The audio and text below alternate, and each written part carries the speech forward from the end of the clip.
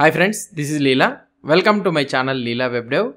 In this video, we will learn about the different types of unit testing frameworks for JavaScript that are available in the market. Let's try to see it. We have two, normally we know that we have two types of testing frameworks commonly available. So that is for, uh, so those testing frameworks which are used, which, which need to do for unit testing and also the integration testing. And another type of testing frameworks are which perform the E2E testing. E2E testing means the nothing but the browser thing. So these are the two types of testings available and we need to have these two types of testing frameworks also. Now let's come to the unit testing frameworks. What are the unit testing frameworks that are exclusively available in the JavaScript? So we have learned right so about the testing frameworks that are which which are the testing frameworks available for unit testing and also for the E2E testing. Now for the unit testing frameworks, these are the commonly used unit testing frameworks. First one is Mocha, Jest, Jasmine, Tape and the QUnit. So these are the common unit testing frameworks which you will be using in the data which you will be able to see in the market.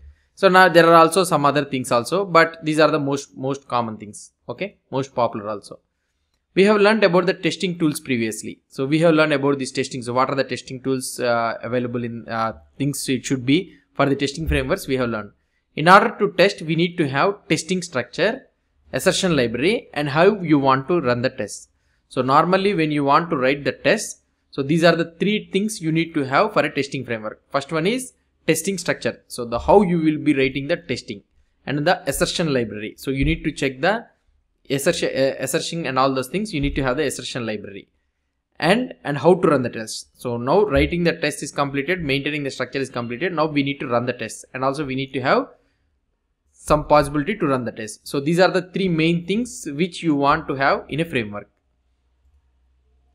So some frameworks like Jest, Jasmine, TestCafe, Cypress, these are all the some frameworks, testing frameworks provide all these out of the box. What are the things we have discussed?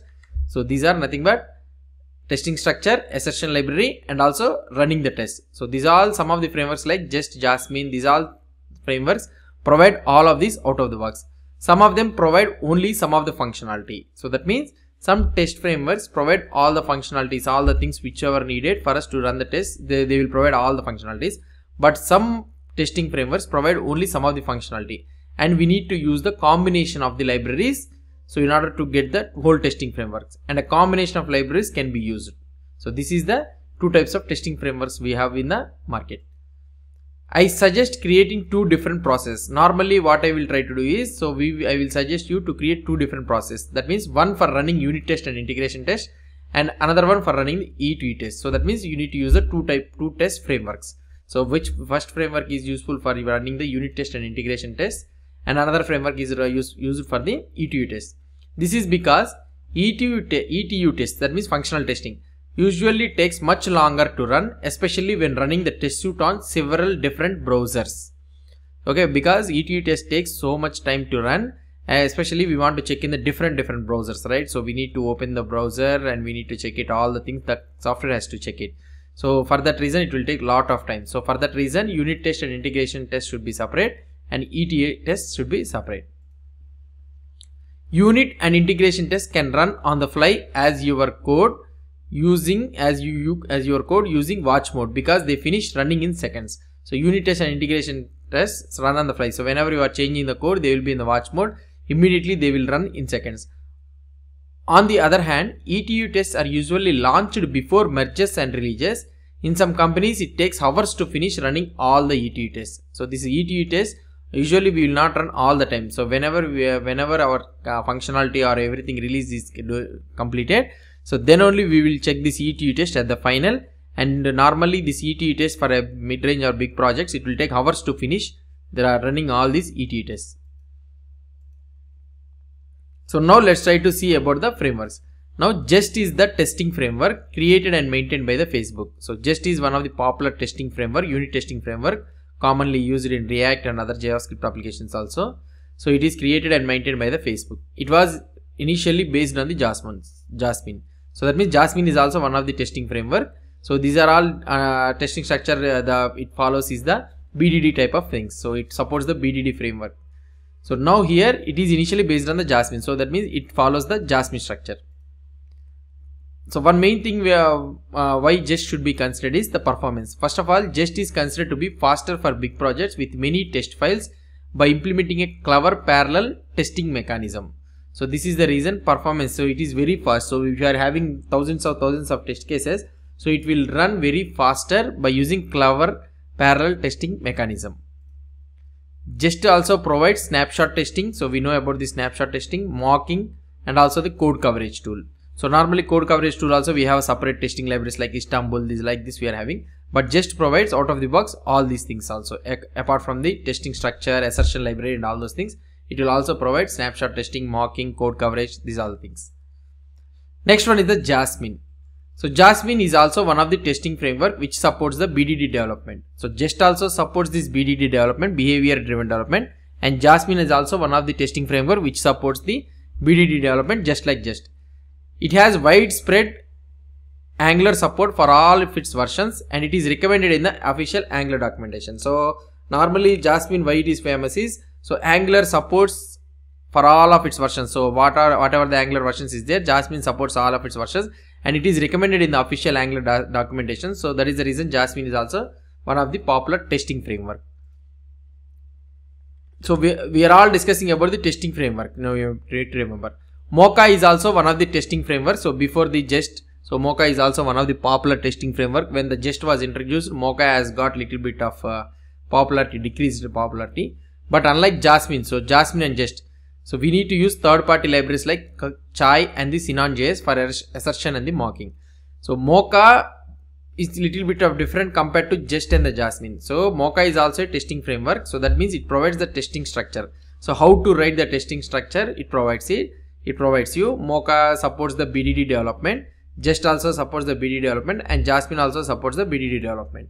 But here Jest and Jasmine has their own assertion libraries. Something like expect to be equal. So these are the types of functions will be there, right? So Jest and Jasmine has their own assertion, but Mocha doesn't have an assertion. So we need to depend on the third party libraries like Chai and mocking also in the Mocha it is not available. So that means function uh, dubbing, uh, stubbing these all things. So we need to use the Sinon.js which is useful for the mocking. So these are the third party libraries we will be using for the Mocha. So this means Mocha is a little harder to set up and divided into more libraries but it is more flexible and open to extensions. So this is the main thing you need to understand. So by understanding this one, Mocha, installing the Mocha itself is not uh, sufficient for, our, for our project to run the testing. So apart from the Mocha, we need to have the Chai and we need to have Sinon.js for mocking and like this we need to have the supporting libraries for the Mocha. But it is more flexible and open to the extension. So for example, if you want to use the uh, assertion library like Chai in the Jasmine, you can use it. But Jasmine has an assertion library, you can use it. If you want chai to use in the jest also you can use it. But mocha uh, supports it is more flexible to the third party library integration. For example if you want a special assertion logic you can fork chai and replace only chai with your own assertion library. This can also be done in jasmine but in mocha this change will be more clear expected and obvious. So this is the thing i want to tell you for example if you have if you want to have special assertion logic like you can use the chai and replace chai with the like this but this can be also done in the Jasmine but in the Mocha it is very clear.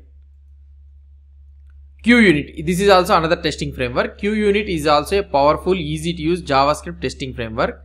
It is original, it was originally developed for the jQuery projects. So if you have a jQuery projects and all those things, so QUnit is the better option to go. And has since evolved to test any client side. So but slowly going on, it has evolved to test any client side or the server side JavaScript code. So normally basically at the first time QUnit was used to test the jQuery projects but going on time goes on it has evolved to test any client side JavaScript and also server side JavaScript code. QUnit has no dependencies and supports Node.js, SpiderMonkey and all other major web browsers also. So Chai. So this is also so many people will be confused between the Chai, Mocha, Jasmine, Jest and all those things. So Chai is not a testing framework. Okay, it is an assertion library. It provides the functions for you to check the assertions and all those things. So Chai is a BDD or TDD assertion library for Node and the browser that can be delightfully paired with any JavaScript testing framework. So this is the thing. So now we, up to now we have learned about the testing frameworks. So some of the testing frameworks uh, provide you uh, has all the features in it, but some of the testing frameworks like Mocha doesn't have these things. It, it gives mocha gives you the ability how to write the testing thing. So the testing structure it will provide you. But it doesn't have any assertion libraries and mocking and all those things. If you want to have assertion library mocking in mocha means so we can use third party libraries. We are free to use chai chai should.js so many things are there. So we can use anything.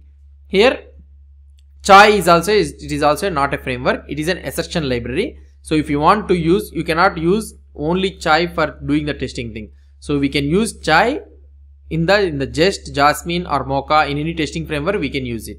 So this is an assertion library. Karma. And also this is also one of the other things. So most the people mis mistake about uh, this karma and chai and all the things. They will think these are also a testing frameworks but these are not testing frameworks. Chai is an assertion library and karma isn't a testing framework. So it isn't a competitor to tools like mocha qunit or jasmine to name a few. Okay so Karma is not a testing framework. So these are not competitors to tools like Mocha. Tools means like frameworks like Mocha, QUnit, Jasmine. So these just these are all the things. It is not a competitor. Karma is not an assertion library also. So tools like Chai or Should.js aren't competitors to Karma. Karma is not at all assertion library also. Just like we have seen the most popular assertion library like Chai, right? So Karma is not an assertion library. Now what is a Karma? Karma is the karma is the ability to run tests against real browsers and the real devices which makes your testing strategy more robust and reliable. So karma is a nothing but a test runner tool. So it will it will allow you it will make you to run the test okay? It will make you to run the test against the real browsers such as uh, real devices why? Because so we will be having so many browsers we are having in the market. So dom manipulations will be different for different browsers. So karma will make you to run all your tests against all the different types of browsers according to the user configuration what is the configuration they have given and it will make your testing strategy more robust and reliable. So this is the karma. So karma can be used with any testing framework. So karma uses the mentioned testing framework like jasmine jest or anything and it will run the test cases using those frameworks so karma will give you, so what I can say is, will give a clear report against all the browsers and devices. So how what it has run and what are the reports it has generated. So it will run the local web server according to the user configuration and it will do it. Okay, so this is the test runner tool. Chai is an assertion library and remaining all jest and all those things are testing frameworks. So these are all about the unit testing frameworks overall that are available in the market. In the next video, we will try to see about the E2E testing tools. What are the things? Tools available in the market let's try to see it. Hope you understood about these all testing frameworks unit testing frameworks assertion libraries and test runner tools these all the things. You got a uh, clear idea i am thinking like, so like that. If you have any doubts or any suggestions please post the comments below to this video so that i will try to give the reply. And if you like this video please do support me by subscribing to my channel. Thank you